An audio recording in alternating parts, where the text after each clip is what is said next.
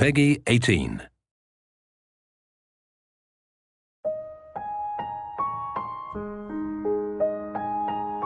If you feel that impaling your enemy on rebar is inhumane, maybe just kick him into a cactus. It's just as painful, but at least you're going green. He kicks, he scores!